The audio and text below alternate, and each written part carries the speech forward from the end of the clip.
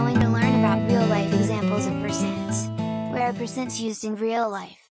When I go shopping, I use percentages, to find the sale price, and, discount, on clothing in the store. When I go grocery shopping, I use percentages, to calculate sales tax, and discount, in the grocery store. There are places, with zero sales tax on foods, like California. When I go to a bank, I use percentages to find interest rate, in a saving account. The interest rate varies from 0% to 2% now, I see my money grow, thanks to compound interest. When I have income, I use percentages to calculate my income tax. Percentages are one of the most frequent ways, to represent statistics, I use a pie chart with percentages, to show the world population. This chart shows, that 58%, more than half of the world, now uses social media,